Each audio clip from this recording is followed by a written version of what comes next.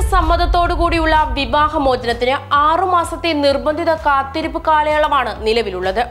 എന്നാൽ ഇപ്പോൾ ഇക്കാര്യത്തിൽ ഇളവ് വരുത്തിയിരിക്കുകയാണ് സുപ്രീം കോടതിയുടെ വിധി. കൂട്ടിയോജിക്കാനാകാത്ത വിധം തകർന്ന വിവാഹബന്ധമാണെങ്കിൽ കാലതാമസമില്ലാതെ വിവാഹമോചനം നേടാമെന്നാണ് സുപ്രീം കോടതിയുടെ ഉത്തരവ്. സുപ്രീം കോടതിയുടെ വിവേചനാധികാരത്തിന്റെ അടിസ്ഥാനത്തിൽ ആർട്ടിക്കിൾ നൂറ്റി നാൽപ്പത്തിരണ്ട് പ്രകാരമാണ് സുപ്രധാനമായ ഉത്തരവ്. ഇതോടെ ആറുമാസത്തെ കാത്തിരിപ്പ് അവസാനിക്കും എന്ന് സാരം.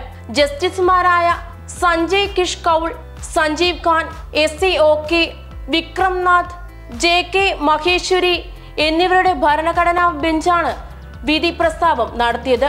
ഹിന്ദു വിവാഹ നിയമത്തിലെ സെക്ഷൻ പതിമൂന്ന് ബി പ്രകാരം പരസ്പര സമ്മതത്തോടുകൂടിയുള്ള വിവാഹത്തിനുള്ള നിർബന്ധിത കാത്തിരിപ്പ് സുപ്രീം കോടതിയുടെ പ്രത്യേക അധികാര പരിധി ഉപയോഗിച്ച് ഒഴിവാക്കാനാകുമോ എന്നതായിരുന്നു ഭരണഘടനാ ബെഞ്ചിന് മുന്നിലെത്തിയ ചോദ്യം.